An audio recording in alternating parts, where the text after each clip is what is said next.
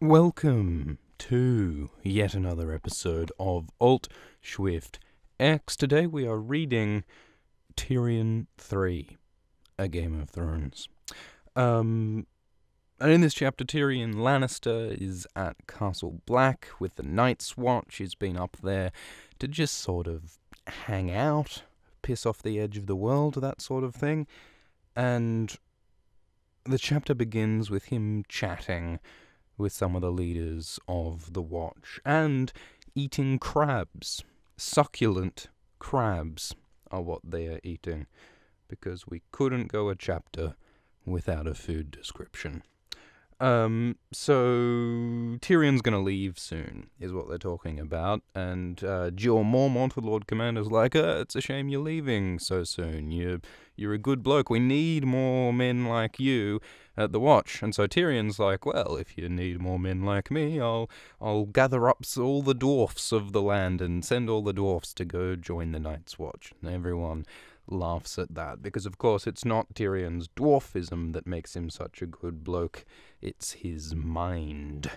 Um, and so, and then Alliser Thorne, who's also there, he gets a bit offended by Tyrion's sort of jokes and making fun of, of the Night's Watch, and he says, "Oh, you're offending the Night's Watch." Uh, uh, and Alliser, Alliser actually goes so far as to challenge Tyrion to go if to go fight. He basically goes, "You wanna you wanna fight me, bro? Let's go out into the yard and and and fight to because I'm so offended by what you've been saying about the watch." Um, and Tyrion makes fun of him. Um, so like Alice's like, "Oh, you know, say say that again with steel in your hand." And Tyrion says, "Why? I already have steel in my hand. I have this crab fork because he's eating the crabs." And then he and then Tyrion jumps onto the table and like pretends to like sword fight Alliser Thorne with his little crab fork and he sort of pokes at Alliser with the fork and then Alliser is so angry and humiliated that he storms out and everyone's laughing and laughing and laughing uh, and Tyrion gets Alliser's crabs. Uh, so Tyrion's so more sort of like physical comedy silliness with Tyrion again, uh, which is kind of fun.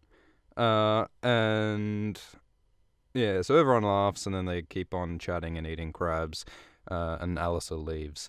Um, and one of the other people there is Bowen Marsh, uh, the Lord Steward, who who is as round and red as a pomegranate. Because even some of the descriptions of people must needs also be food descriptions.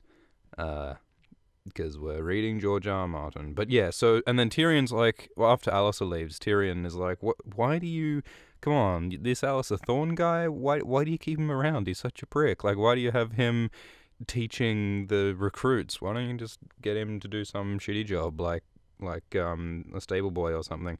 And and Jeor Mormont's like, oh well, you know, he is a knight, and you know we don't have many knights, and uh, you know he he he fights well.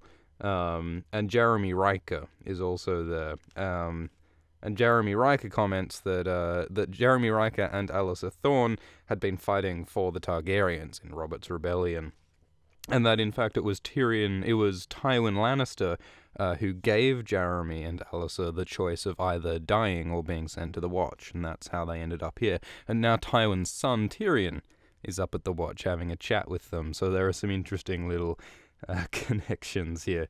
Um, and Tyrion makes some comments of about his father. Um, and Jeor is like, man, you really, you kind of are making fun of us, though, aren't you, with the Night's Watch? And Tyrion's like, yeah, well, you got to make fun of everything sometimes, otherwise uh, you'll take yourself too seriously. Um, and Maester Aemon, uh, Maester Aemon is also there, and Maester Aemon makes a comment about how he thinks that uh, he thinks that Lord Tyrion is quite a large man. He calls Tyrion a giant come among us here at the end of the world, which is a pretty, pretty cool line. Um, we don't really know what it means, but it, I suppose it implies that Tyrion is just important somehow. Um, I mean, some people have all these theories about Tyrion being one of the three heads of the dragon, whatever that means, that he might ride a dragon, whatever that entails.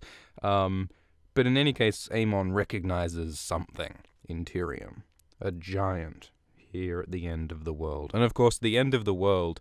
Um, that sort of relates to them being on the wall, which is kind of the edge of the of the civilized world.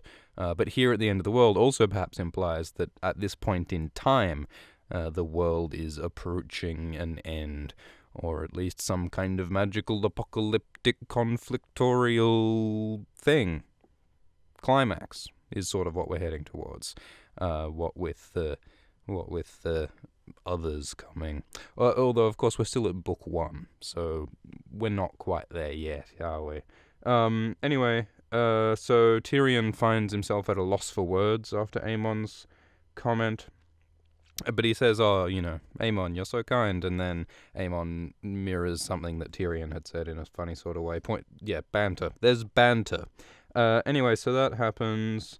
Um, and Jorah's like, okay, so you're you're heading you're heading back south, Tyrion. We'll we'll we'll we'll give you an escort. We'll send some men with you to protect you, uh, at, at least uh, down down at least to Winterfell.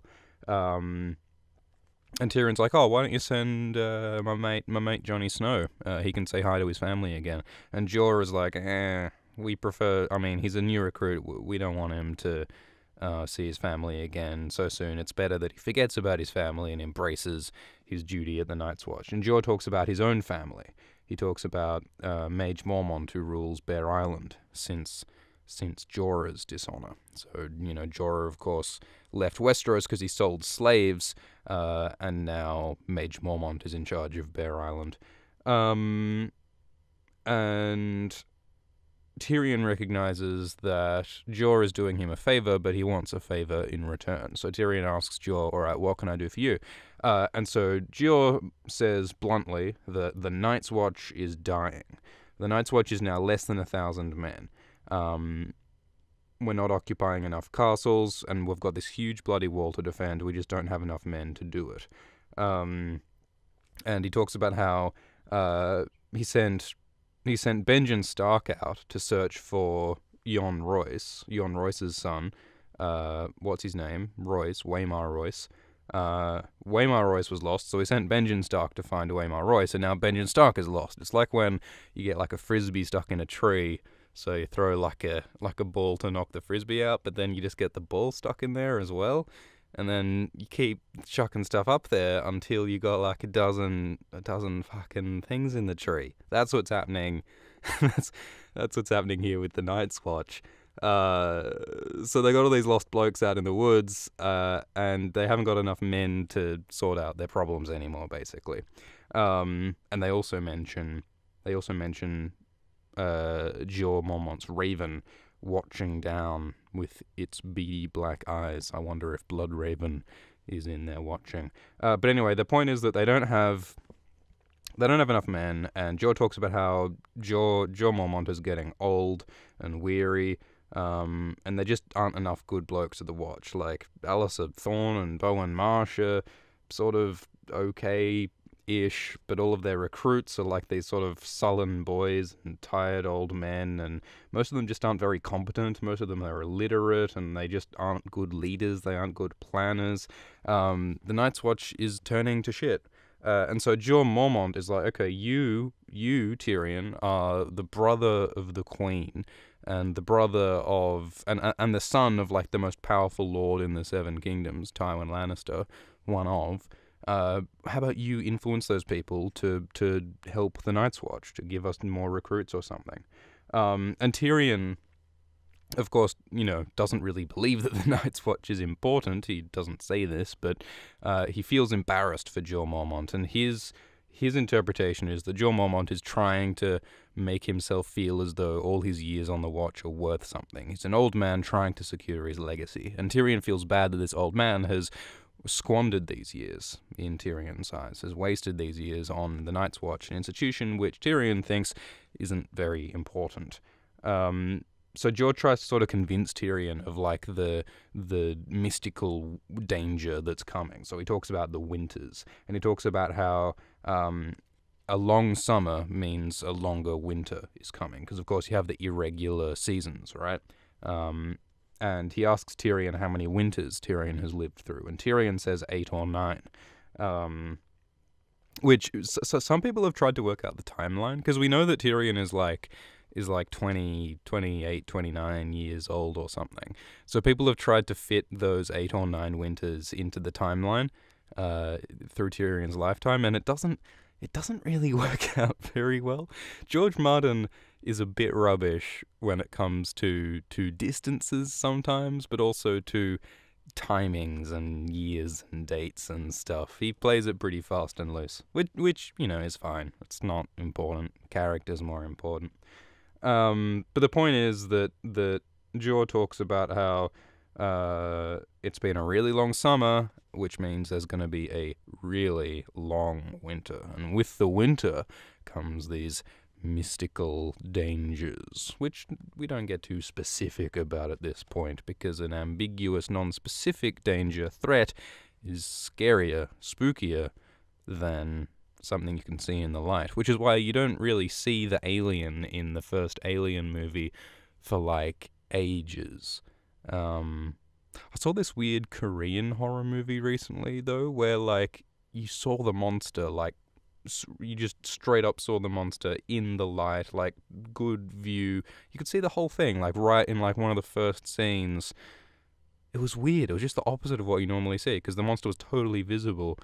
I, I don't think it was as scary, but I don't know. Maybe there was some purpose behind that. Anyway, um, so the darkness is coming. Dark shapes in my dreams. You must make them understand. You must get the king and Tywin Lannister to help support the Night's Watch which of course they don't. Uh, he also, yeah, he also mentions White Walkers. The fisherfolk near Eastwatch have seen White Walkers on the shore. Uh, so that's uh, scary.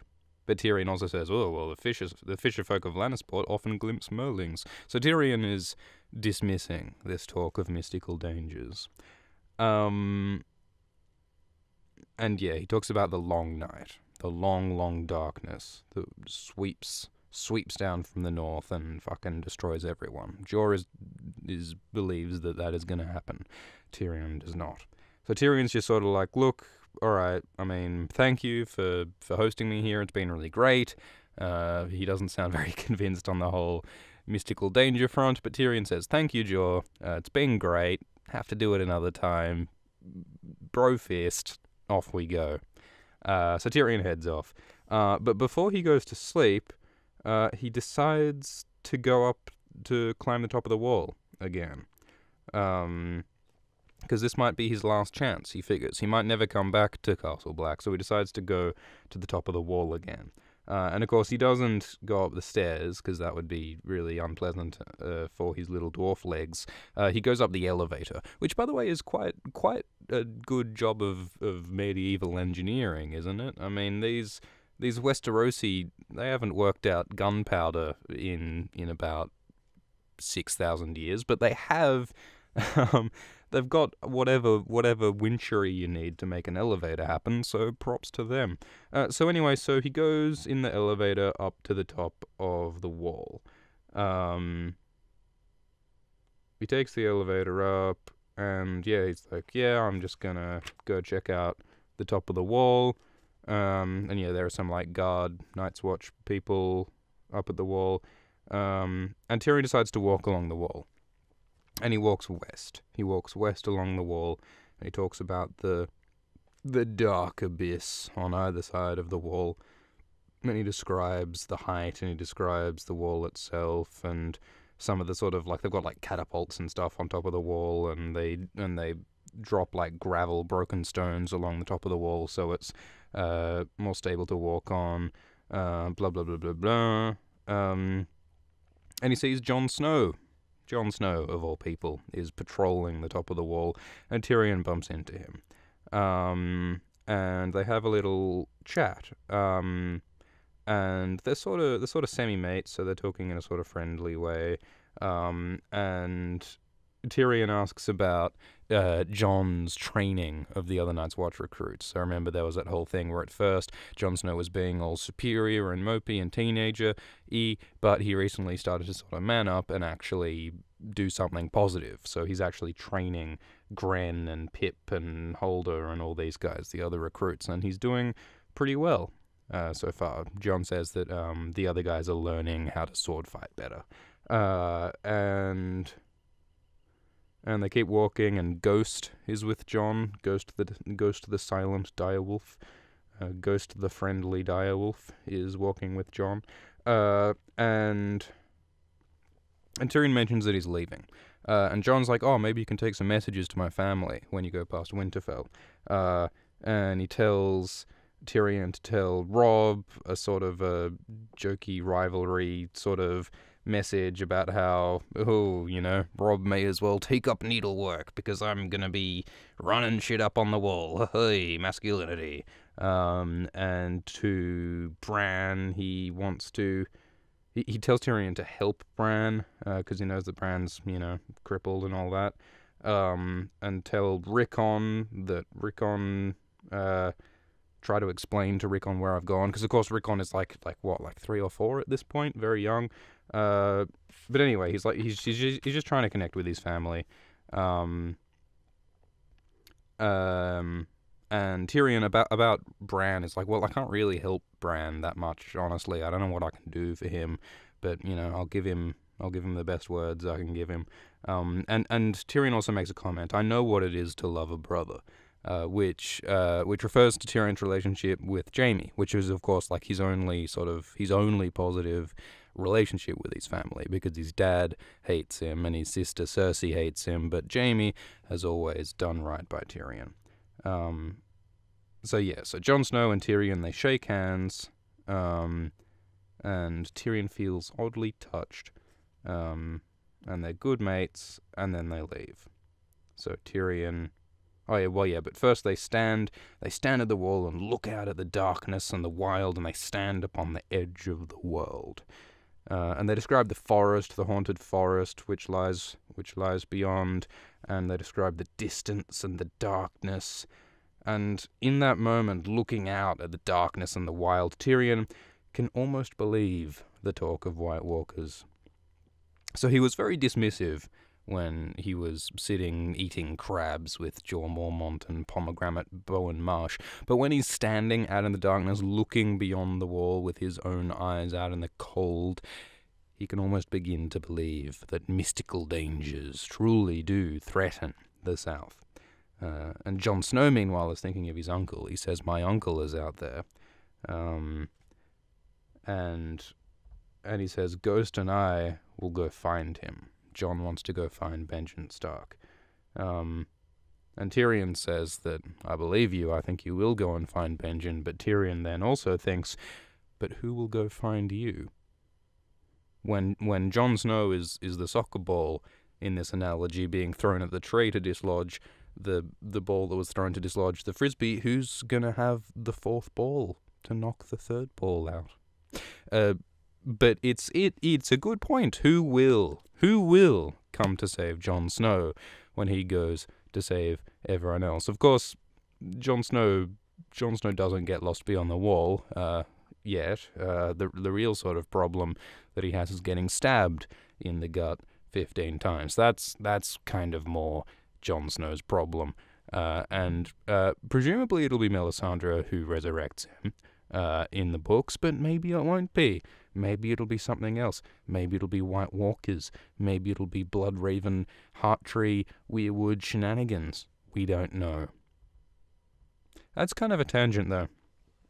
um, so, so sort of the point of this chapter was to say that, uh, it, it, it, it emphasizes that there's there's mystical, dark, cold, wintry dangers beyond the wall, and the Night's Watch is is not up to facing this danger.